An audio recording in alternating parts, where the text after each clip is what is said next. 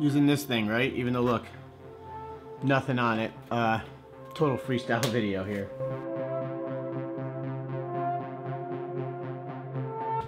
Quick cut here. So these walls are not pistachio green like this.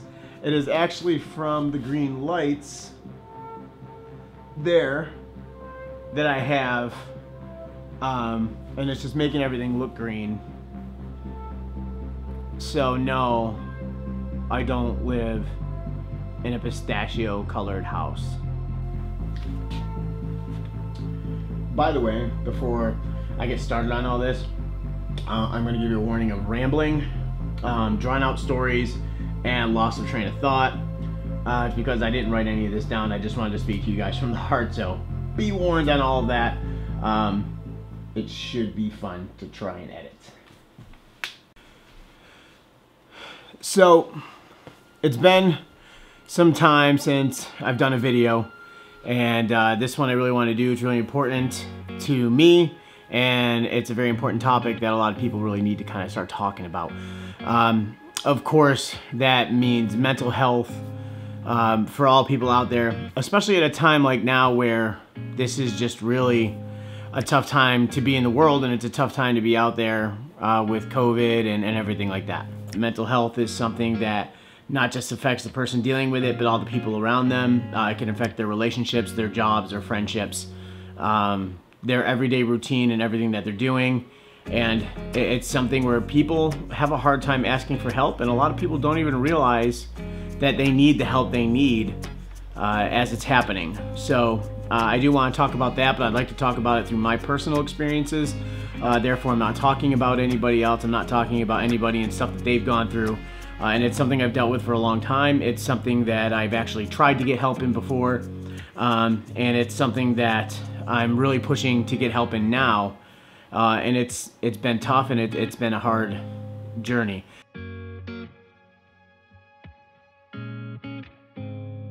I hope with a video like this that actually people will share this video and I hope people will use this video as to hopefully gain some strength and to reach out and to get the help that they need uh, again not just for the people around them but for themselves uh, to help live a better and happier life through just a strong mental health.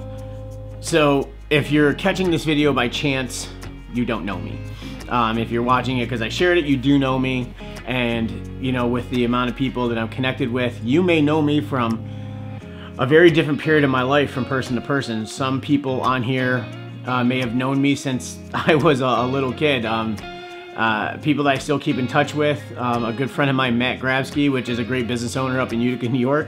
Uh, he and I were in a Pac-Man figure skating show when we were two and three years old, um, along with his sisters. And somewhere around here, I have a picture of it. If I can find a picture, I'll, I'll post it up here real quick. Um, then there's other friends that I met through my younger years of playing hockey and baseball. Uh, kids that you know that grew up, that have lived very successful lives, like uh, friends like Chris Hamline that I've known since probably fourth grade and um, a lot of other people like that. And then people that I've known from high school that I'm still very, very close friends with. Uh, and uh, then friends that I've even known from college and beyond. And people have known me in a lot of different points in my life and didn't know what was going on in my life or didn't know what I was going through at the time.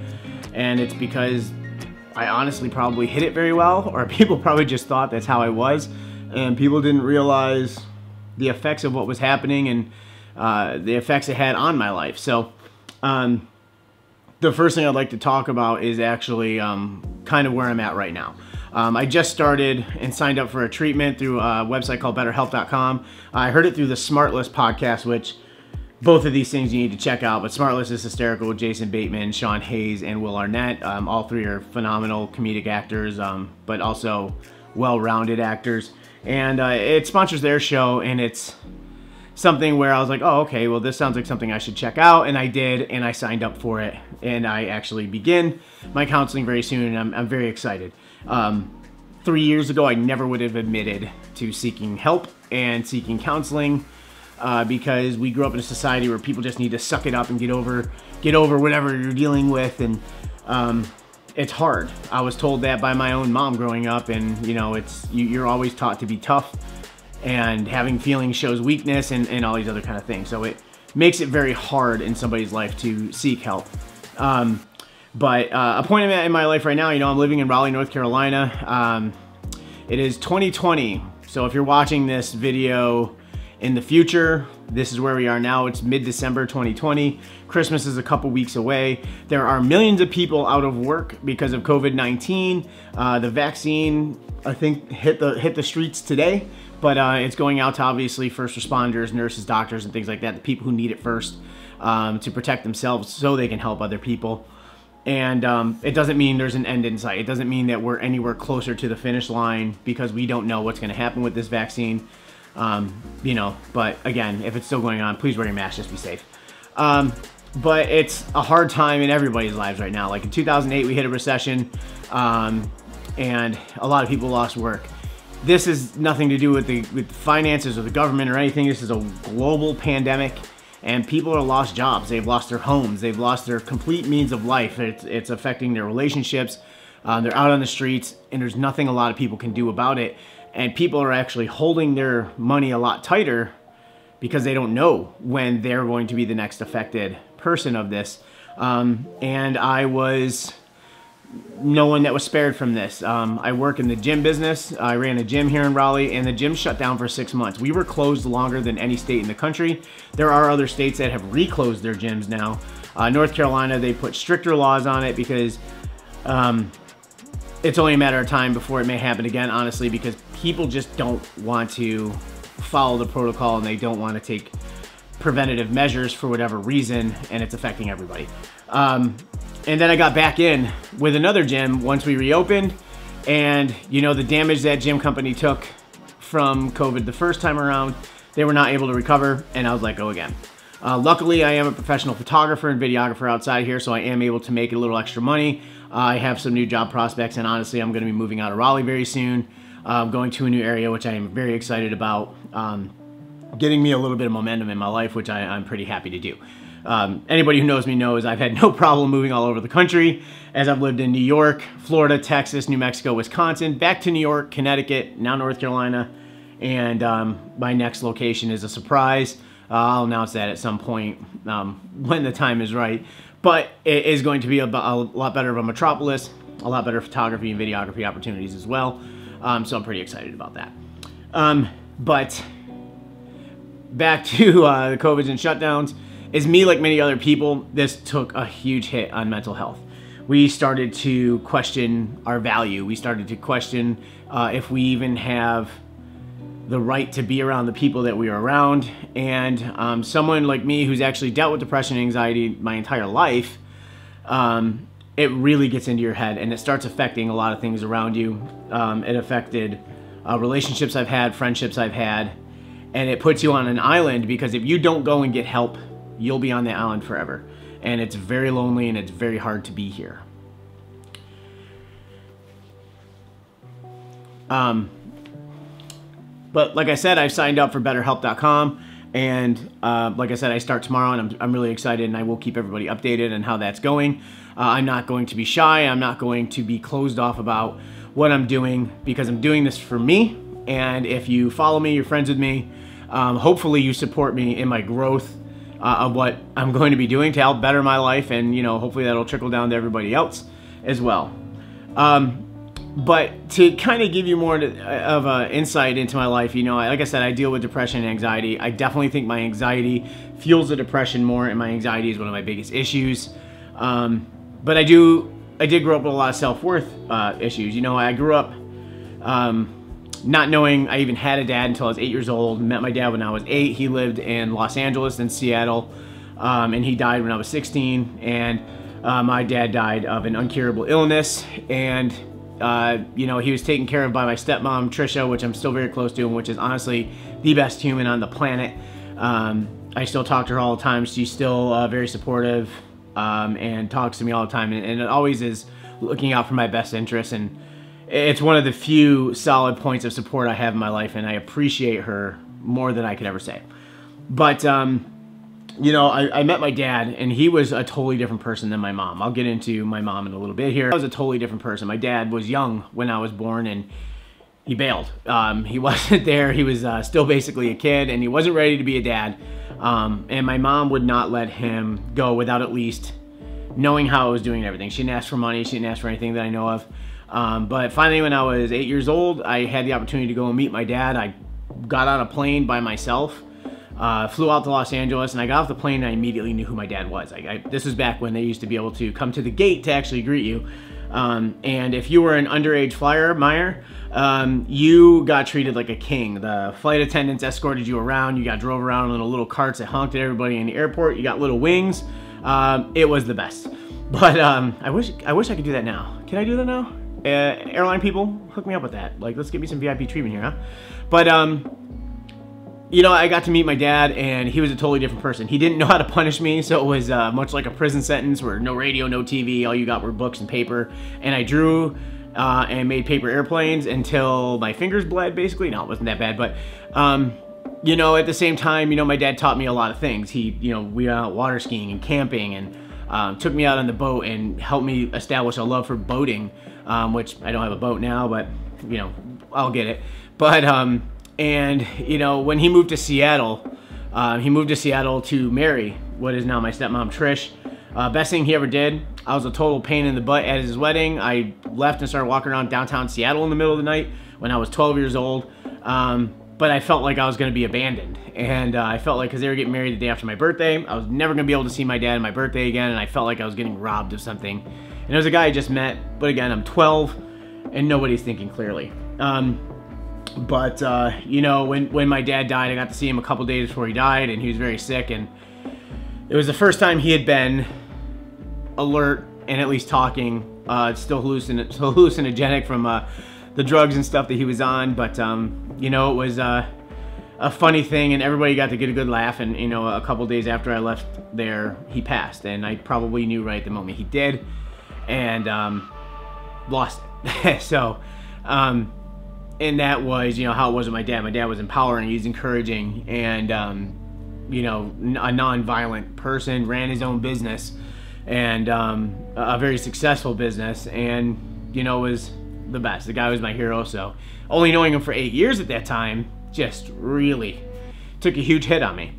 Um, then, but the rest of my life, I, I, was raised with my mom. My mom was a very heavy smoker. My mom did not like to do any kind of exercise. In fact, she didn't like to do anything that wandered outside of her being able to smoke cigarettes, um, which is probably why I've never done it, why I've always hated it. Um, but um, my mom used a very different approach. Now, I'm going to preface everything by saying that my mom always made sure I had a roof over my head. My mom made sure there was always food on the table and I'll tell you right now, there is no better cook than my mom was. My big regret is not being able to get any of her recipes. Um, however, if I did, I'd probably be about four to 500 pounds right now and I would be playing the role of Santa Claus in a mall somewhere. But I'd be a happy guy with all that food. But, um, you know, my mom always kept me in sports. My mom kept me in hockey, kept me skiing, baseball. I was a catcher in baseball. So all these sports that cost a ton of money. My mom didn't make a lot of money, but my mom also had a huge mean streak to her. Um, you know, my mom was the person who tried to use negative reinforcement um, to encourage me, and it just made me shut down and bottle up, and it turned me into an angry person. Um, if I was ever in trouble, my mom didn't really believe in grounding me. Uh, turned into a pretty good ass beating. and, uh, you know, growing up, I just thought that the way it was. Um, in high school, everybody knew me, knew it was me and one of my other friends, which of course I'm not going to name him, but they were, they always said their biggest fears were my mom and his dad.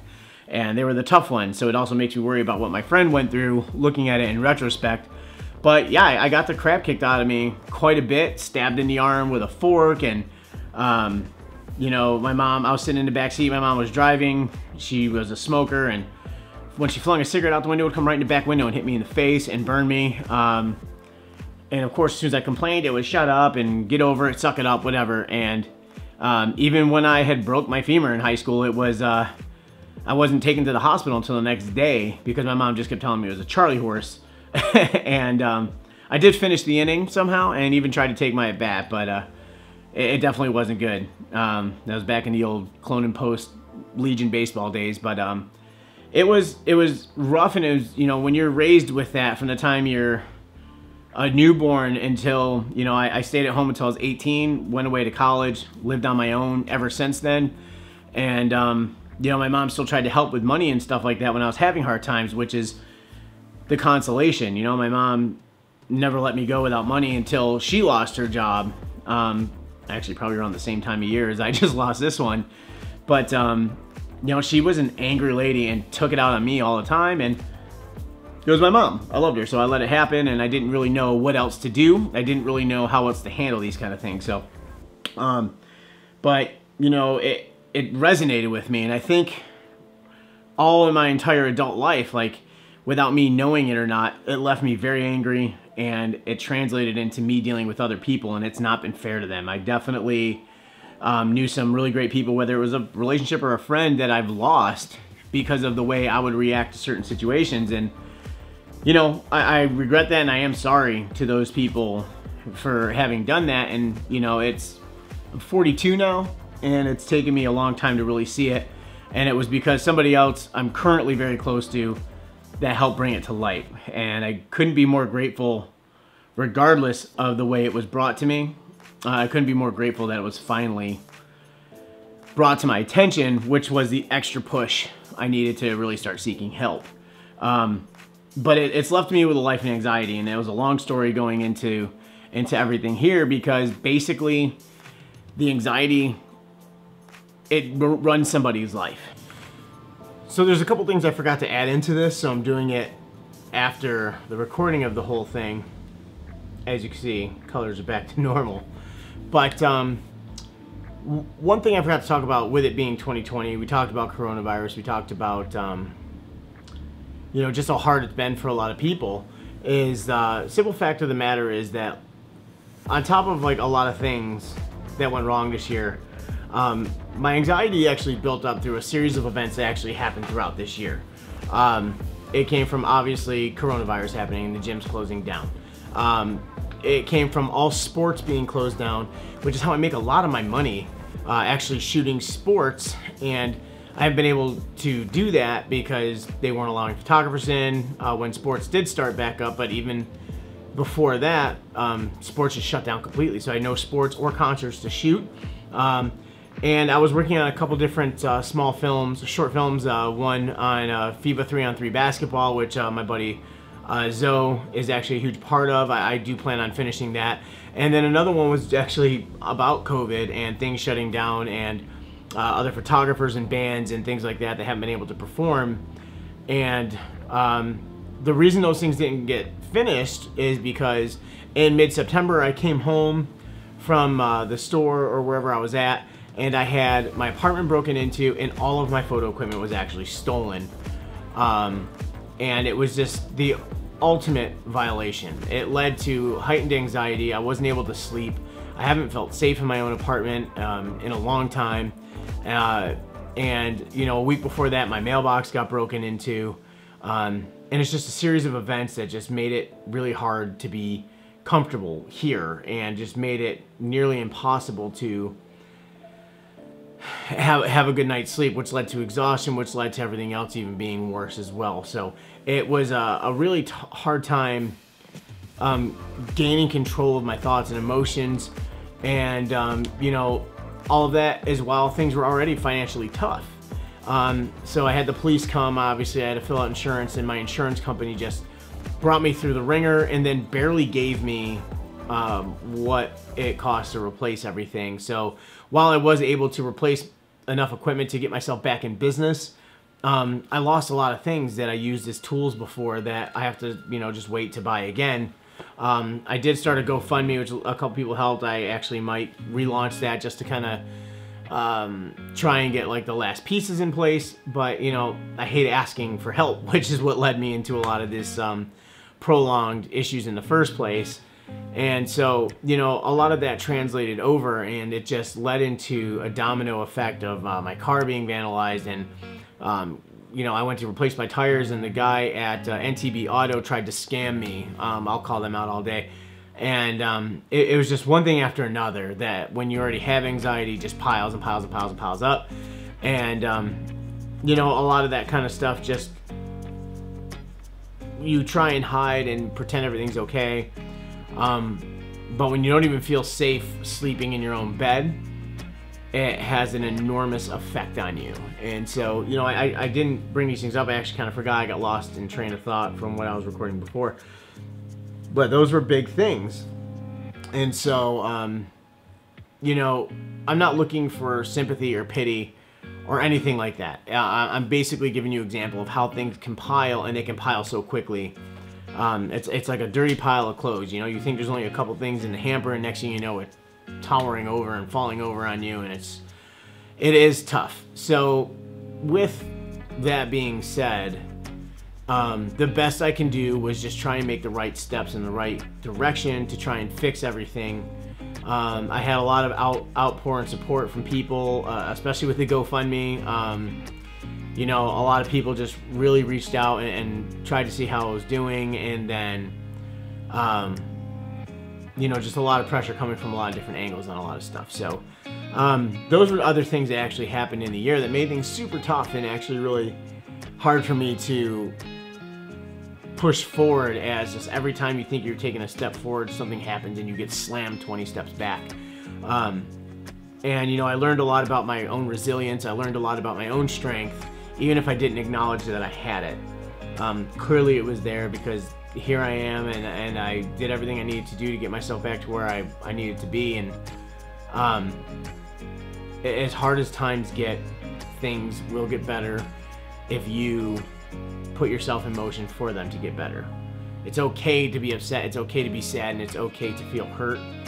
It's not okay to accept defeat. If that's any way to help push even further for you.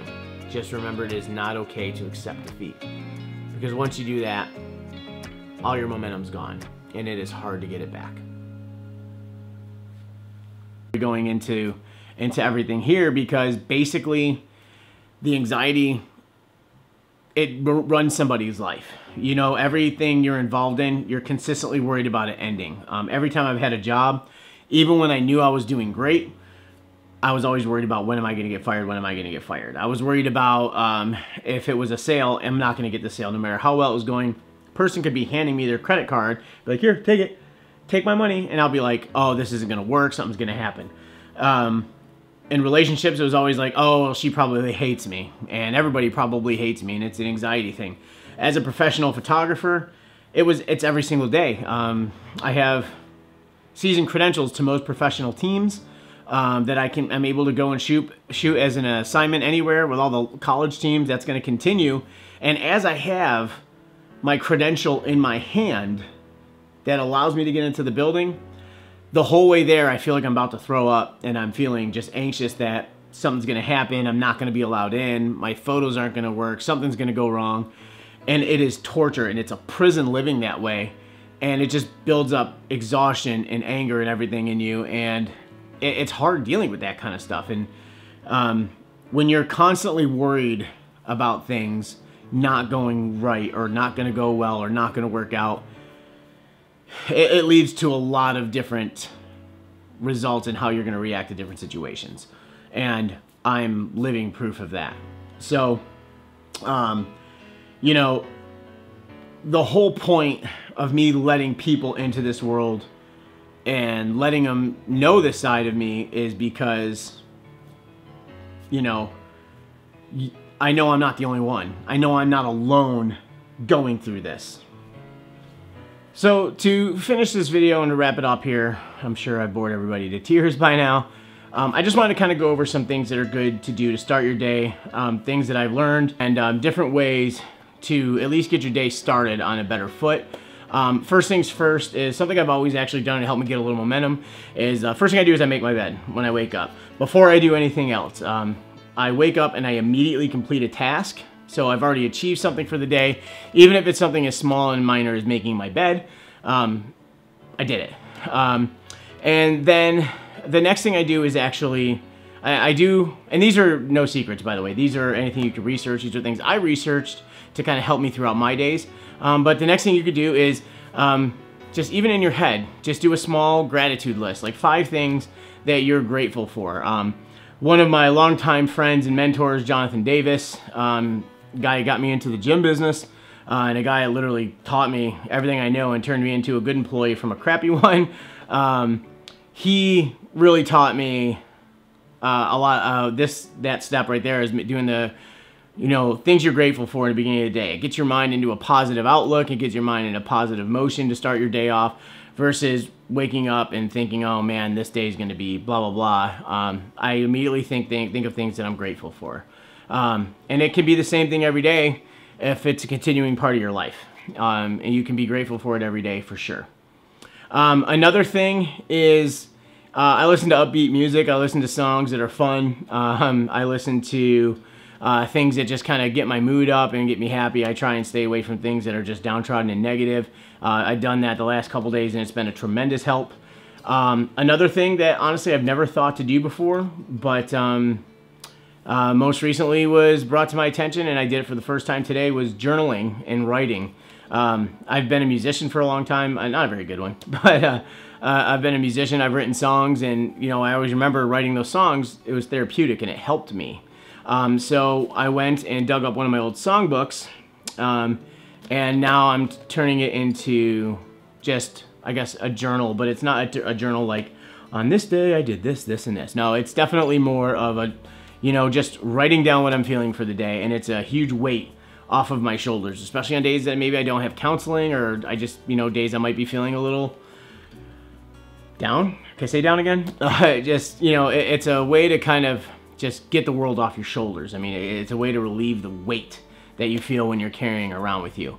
Um, and another thing I like to do is I like to do something that's a hobby of mine that I enjoy doing. Um, for me, typically it's going out and taking photos or um, doing videos of something. Um, I love getting out and doing that. Sure, I make money from being a photographer and videographer, but honestly, it's one of my favorite things to do um, to get out there and just, you know, take pictures and take pictures of the world around me. Go and, and do things I enjoy. Like I love aviation, sports, concerts. Um, I like hiking and being out in trails and things. And um, it's great taking pictures of wherever I am. Like um, there, there's a lot of people out there that can see the world differently. And, and, honestly, being behind a camera just really lets me take a good look at the world around me. And uh, I'm lucky enough to be able to capture it. Um, and then last but not least is talk to people. Talk, get help, um, reach out to people you know you can reach out to, um, and, and ask them if it's okay if you just vent for a little bit. Uh, keep the people that are close to you close. They're put in your life for a reason. They're put in your life to be a support for you. You don't always have to be internal about your issues.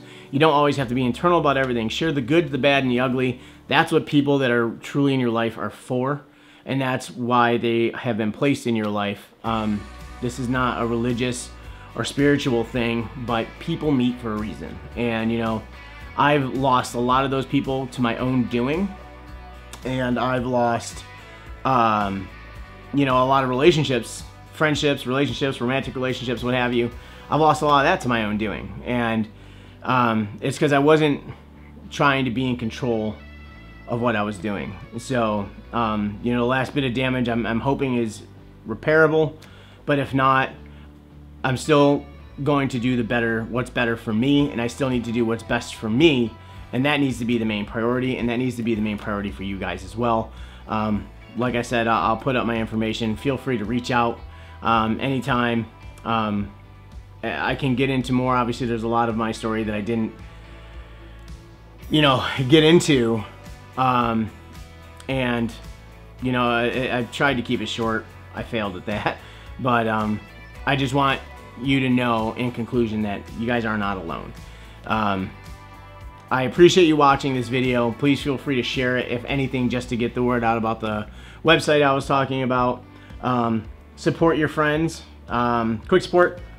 John Chavo Hockey has some awesome merchandise. It is Christmas time, so um, if you're watching this at a different time than Christmas, go to their site and buy something as a gift for somebody or for yourself. They have, I, I wear this hat all the time. It's why it looks like this. The hat looked a lot better when I first got it, but um, it's literally one. Of, it's my favorite hat I have. So thank you, John Chavo Hockey, for that one.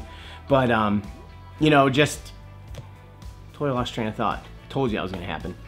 But uh, I really appreciate you guys watching this, and you know, um, like I said, feel free to reach out and. Um, I thank you for allowing me to open up. And uh, I hope, if anything, that if one person now gets the courage to open up and seek help through something, um, I have a reference link on this video. Please feel free to do so. And um, yeah, I guess that's all I got. I hope you guys have a great holiday season. Um, if you're watching this after the holidays, I hope it was great. Um, stay safe, and um, I'll probably get back to this video thing pretty soon. I know I always say that, but I'm to do it for real this time. Thanks, you guys.